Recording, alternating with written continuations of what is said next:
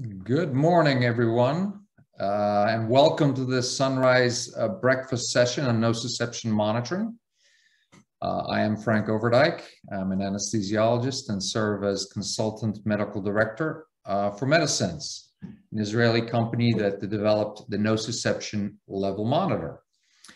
Uh, hopefully everybody has their coffee and their croissant and or your bagel if you're from New York, or if you're a chicken biscuit if you're from South Carolina. So um, we are lucky enough to have two prominent professors of anesthesia with us this morning to help us discuss the need for nociception monitoring uh, and the their experience with this technology. So let me just share my screen.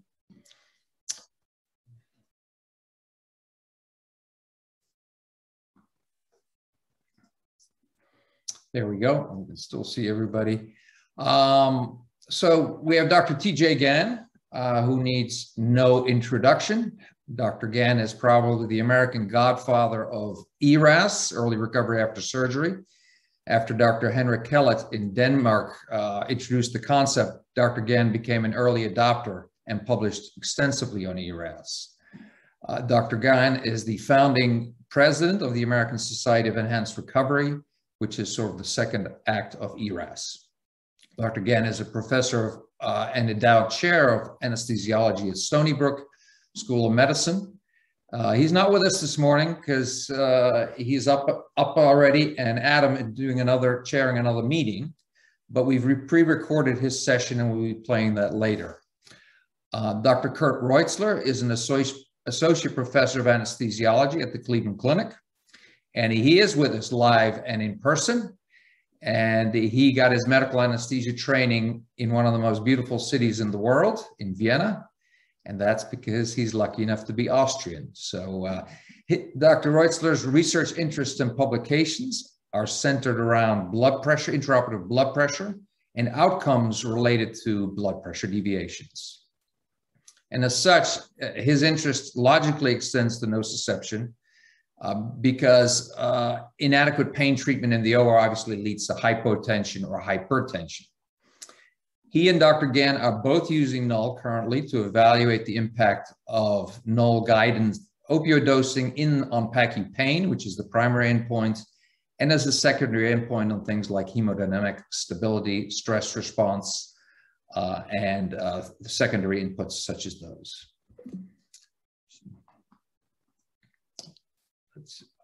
So this morning we're going to, uh, this is our agenda. We're going to start with some background on nociception monitoring and a technical description of the NOL monitor, as well as talk about a couple of outcome studies uh, that we can share with you. Then Dr. Ruetzler will give us a few slides with his perspective on nociception monitoring, followed by Dr. Gan's slides and my recorded conversation with him. These pre uh, presentations will be followed by 15 minutes of Q&A, uh, if you have any questions in the presentations, please include them in the chat room and we'll do our best to address them and answer them. If we're unable to respond, we'll get back to you in person uh, through another means. You'll also be able to find a link in the chat room to access some unique clinical insights relating to nociception monitoring. Uh, so go ahead and click, click and get through there. The material will help you uh, with some uh, more clarification on the technology. So let me start off. Um, we are taught uh, that our job is to take care of three domains of gen in, during general anesthesia, namely analgesia, muscle relaxation, and hypnosis.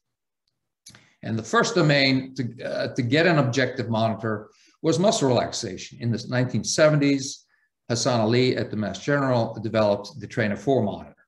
It's an objective measure of neuromuscular blockade and is extremely important still in 2020 in evaluating residual motor blockade in the PACU. Then in the 1990s, we got hypnosis or depth of anesthesia monitors. They show you the BIS monitor here. There's also other monitors available, but the BIS is one that I'm most familiar with. And as reluctant as I was to accept that I needed a depth of anesthesia monitor, I've really come to depend on the BIS for a number of cases. Perhaps not for every case, but certainly for a number of special cases where my depth of anesthesia may be in question depending on the case and the surgery. But the domain that remains a challenge for us is to objectively titrate analgesia and opioids specifically. If you're like me, you said, well, I'm pretty good at dosing opioids. You know, been doing it for a long time. It, it's like salt. We sprinkle in a little here and there to taste. But to be honest, we don't quite get it right all the time.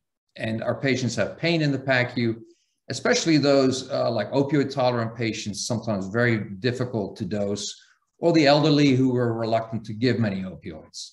So we could really use with an, uh, an objective monitor of pain uh, to help us with these titrations.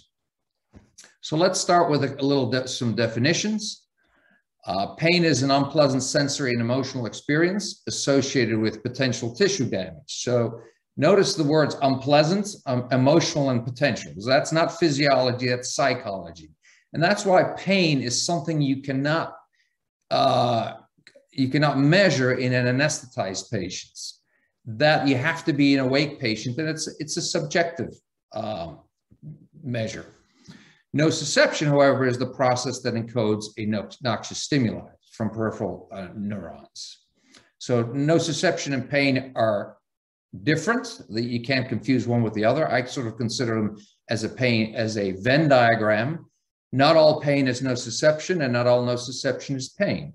For instance, people have pain and physiologic parameters of pain, heart, heart rate and blood pressure changes when they have emotional stress, losing a loved one. So they have pain, um, but not necessarily no nociception. The people who walk on hot coals, they have no nociception. They have a lot of, of their sensory fibers fi firing, but they may not experience pain. So they're sort of different uh, items.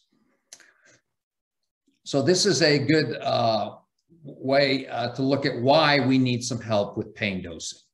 There's about a 20 to 30 fold variability in opioid plasma levels and effect as we give the same dose of opioids. So a huge inter-patient variability. And if I give everybody in this conference uh, 10 milligrams of morphine, we're going to have a some people are going to be very sedated. Some people are going to hardly say, what did you, what did you give me? Did you give me anything? Milligram per kilo dosing, it's, uh, we call that personalization. It's really not, it's primitive, it's archaic. It's really something of the past. It doesn't work too well. And of course, there is synergy between hypnosis and analgesia as well, as you can see on this curve here. Um, opioids can have a sparing effect on hypnotics and vice versa. So uh, hypnotics have a sparing effect on opioids.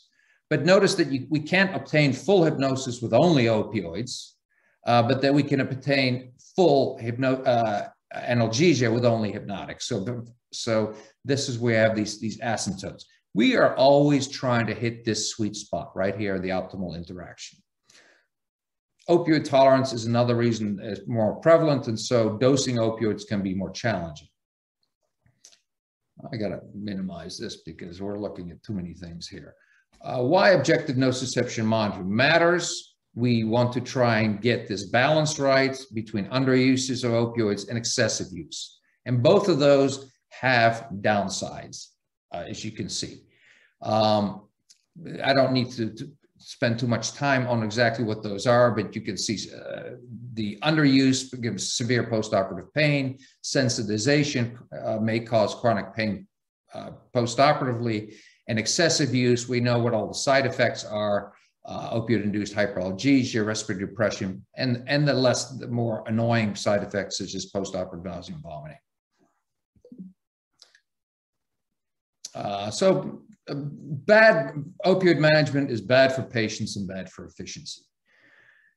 Now let's look at uh, what nociception pain, they affect the sympathetic nervous system, a fight or flight response. And these are the kind of things that happen uh, when we have nociception and, and pain. Pupils dilate, breathing and heart rate picks up, blood vessels constrict, sweating occurs, and many of the parasympathetic functions of the of such as the bile motility and digestive enzyme secretion turning down. So NOL captures several of these signals. That's, let me show you exactly what we're capturing in the NOL monitor.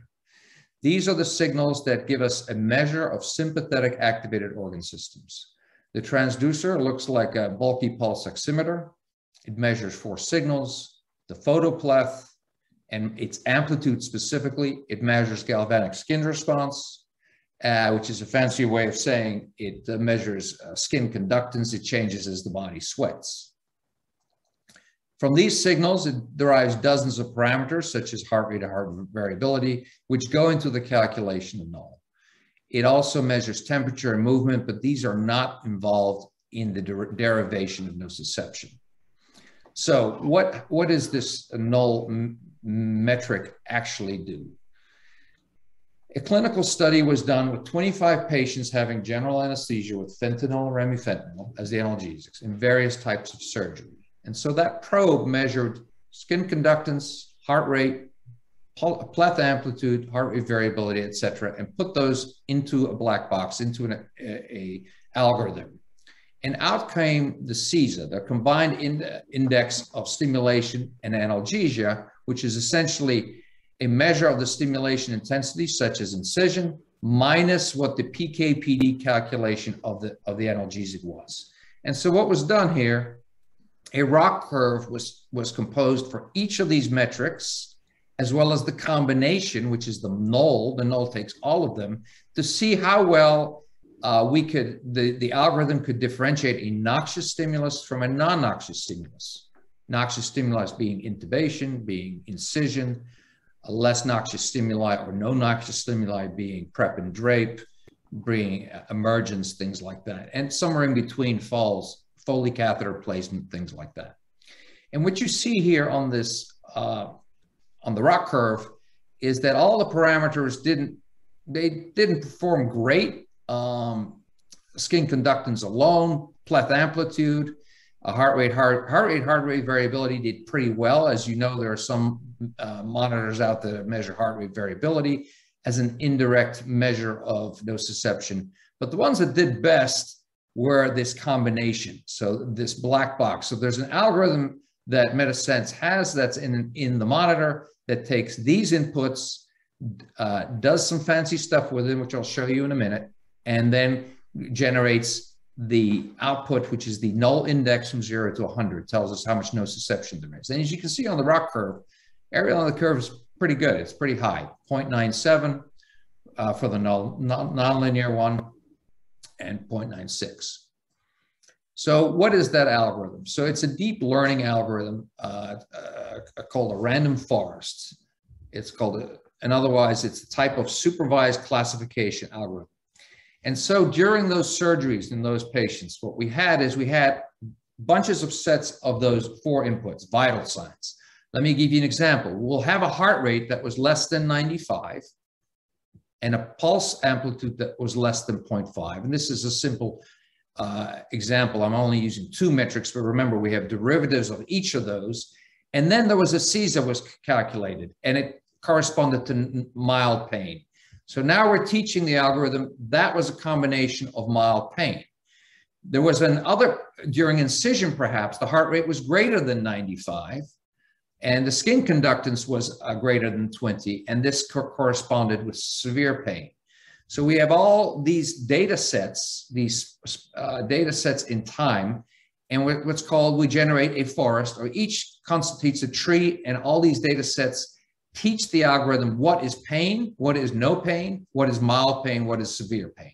So that's a random forest algorithm. And what's very cool about this, and we'll go back one, uh, is that what the monitor does when you first start with the patient, it measures these parameters and generates a baseline, sort of a calibration for that patient. Then as the surgery proceeds, instead of going back and, and comparing to this library of indices, it goes and uses the patient's own responses to those stimuli as so it, it's sort of a personalization of that score. And that's why this uh, technology is, I think, uh, so uh, revolutionary. The NOL trend, as I mentioned, is a number between zero and 100. And here you see one of these tracings. If the trend, the threshold for adequate nociception is 25. Here you see uh, it's carrying, getting carried away from me. NOL trend above 25 is bad news. You probably want to add to your analgesic.